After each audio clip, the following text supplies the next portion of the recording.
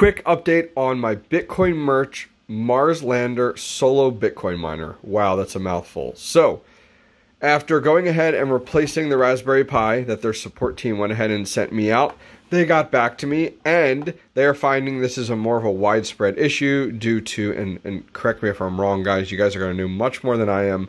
I believe this uses a Raspberry Pi Zero and that is the problem. I guess it's not powerful enough, I believe is how it works. So anyways, the Bitcoin merch support team got back to me. They're actually replacing the entire unit, sending me a brand new one with the proper hardware and a $50 gift card, which is awesome.